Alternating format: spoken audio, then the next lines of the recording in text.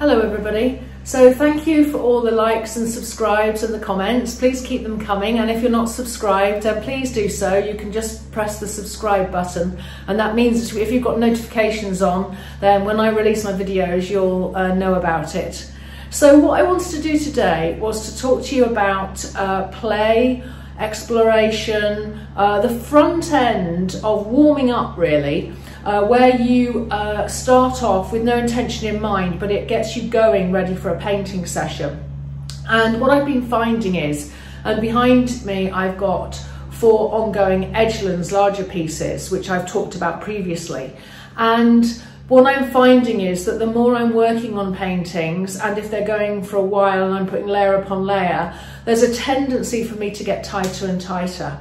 So whereas at the very beginning stages I'm very loose and I don't have much intention in mind and I'm trying to get layers of paint and collage down, that's not so much of a problem. But as, as I go on with them, if I'm not careful, I get too precious and that tightens everything up and it's really, I don't find very good for the painting.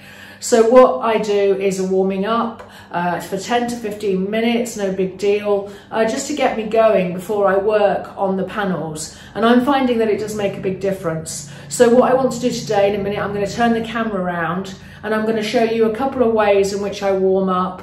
One is on a sort of more of a a larger piece of paper. The other one is working smaller, but with limitations that help me to, to, to generate that kind of playful mindset and explorative mindset, if you like.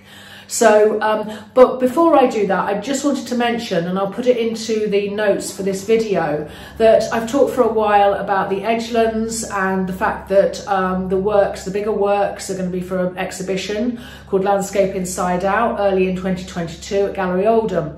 But I'm also releasing smaller works and I've just released some very small panels of the Edgelands works, the very first of them. Uh, and uh, I've already sold a couple, but I'm going to put a link to the website where you can see them.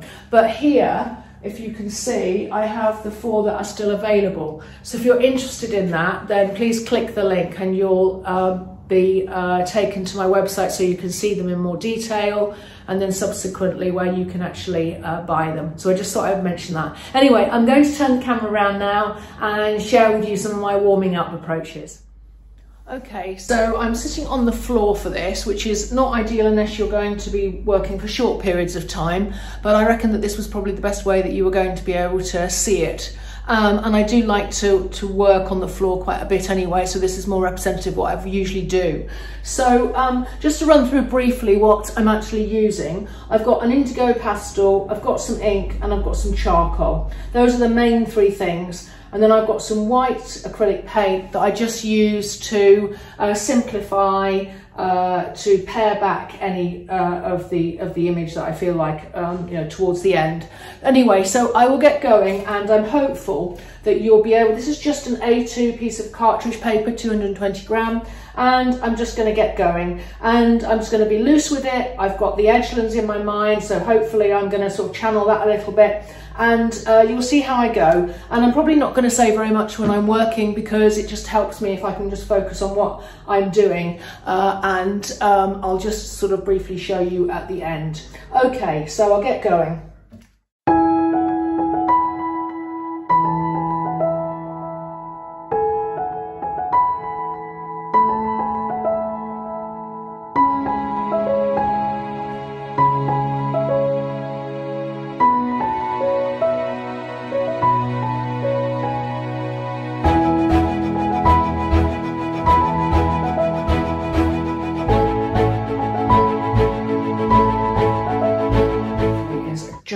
Do some editing.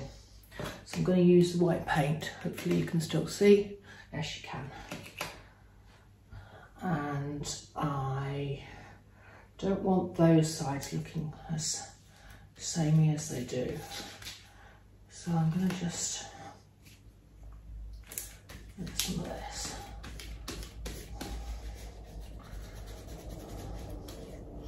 And this is just keep me in the mindset of not being precious and of getting into that mind of actually editing things out and not being precious about doing that. And oftentimes it just helps you to see things without being too, doesn't always work, but I'm just getting it so that I don't have things looking too samey. And also to breathe, to, you know, to bring some breathing space back. I often, you know, put far too much on a painting. And by getting into this mindset of taking a lot, a, a lot of it away in this warm up, it kind of helps me to have that mindset of, of paring back. that makes any sense whatsoever. And I'm probably just going to leave that there. Just It's just a warm up. It's not supposed to be a finished image, but it just gets me into the thinking mode of editing, not being precious, creating different marks and uh, yeah, something a bit, a bit more loose. And I might just take some of that away or even just a bit of it away so that it divides that piece up.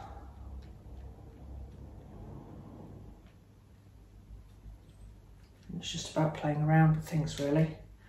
So anyway, you can see how loose, and then I could obviously just come back in with some scraping through, which I quite like to do sometimes, different marks.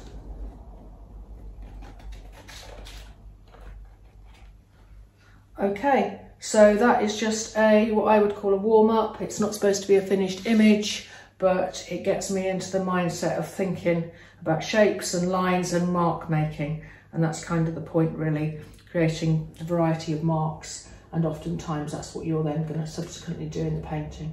That's, that's just a sort of, just to show you how I do it. Keep it simple, simple materials, just get going, no thinking involved, put a mark down, respond to it, put another mark down. If you want to edit back to simplify, just use some, some white paint, some big, big marks. And, and that's how I go with it really. And I might do several of these as a warm up. Okay, so all changed now. So now I'm on the bench and I have a very small piece of paper, which is sort of postcard, postcard size. Um, and the idea with these, just to sort of say that I've got a colour palette. What I've been doing in the last day or so is working out and developing my colour palette for my spring woodland work.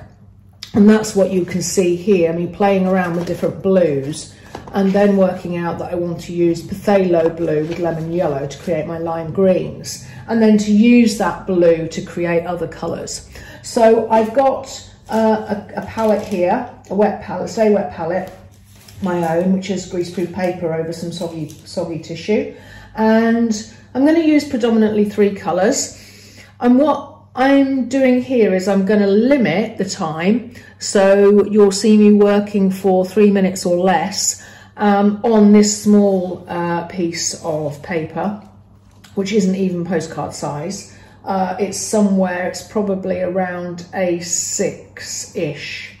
So uh, it's A4 cut into 2, cut into 2 again. So A4 cut into 2 goes to A5, A5 cut into 2 again. So it's about A6. So, um, and the idea here is that I'm trying to use a range of marks. I'm going to use probably three colours in the white of the paper. So I'm going to use my blue, my lime green and my reddy brown colour.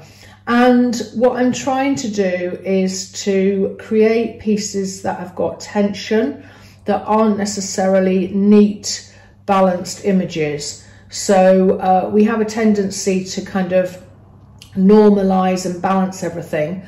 And with these, I'm just trying to push it and have things hanging off the edge and coming in from the sides and maybe, um, you know, sort of a little bit sort of uh, tense. And so uh, I'm going to get started. So three minutes and I'm just going to use some simple tools. I've got some just different brush sizes. So um, I'm going to just get going. Now, I don't know exactly the three minutes because I'm using, um, but what I am going to do is I'm going to try and stay within three minutes.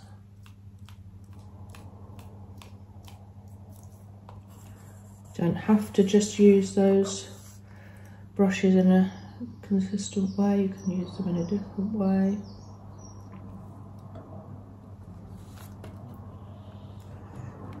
Okay, so I'm going to use my trusty blue.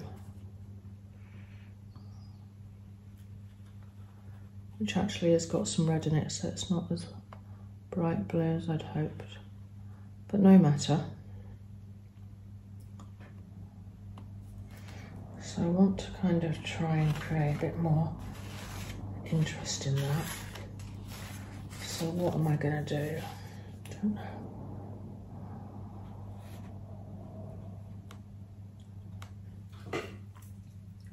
I'll do that, I think.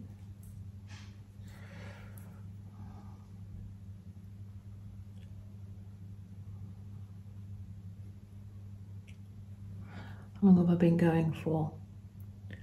Just trying to work out the time. It's not hard to see the clock. Um,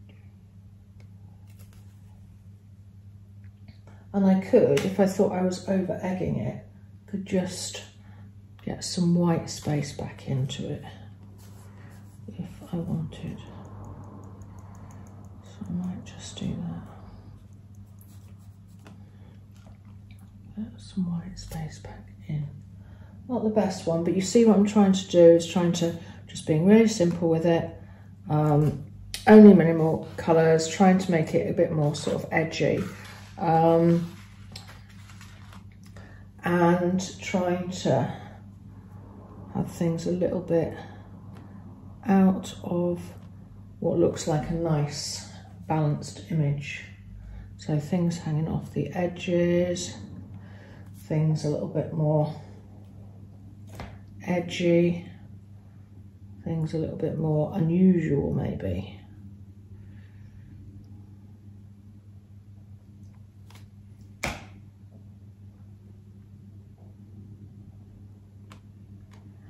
So I'm going to leave that one there. What I'm going to do now is I'm going to um, bring on some of the others I've got in a minute. Okay, so I thought I would finish by sharing with you these five pieces. Uh, and these constitute three minutes each, so they constitute a sort of 15 minute warm up, if you like. And this was the one that uh, I've just shown you that I've I just just did. And these four um, I've subsequently done and I'm using, you know, different different marks. Um, but as I say, I'm trying to kind of create tension so you can see things hanging off the edge, coming in from the sides or being sort of pulled away.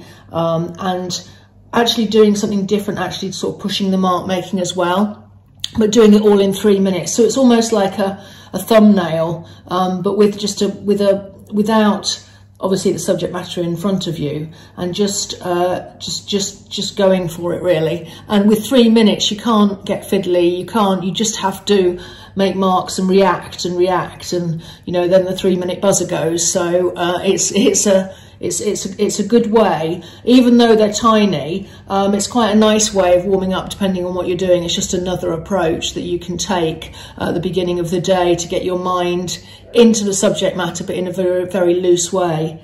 So thanks very much for watching and please do like and subscribe if you haven't already and I'll catch you next time. Thanks a lot. Bye bye.